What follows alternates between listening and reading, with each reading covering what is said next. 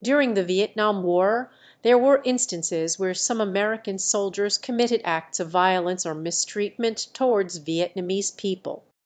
These actions included incidents of civilian casualties, destruction of property, and misconduct towards prisoners. It is important to remember that not all American soldiers engaged in such behaviour, and many strived to uphold the principles of fairness and respect. The war was a complex and turbulent time, marked by both heroism and tragedy from soldiers on all sides.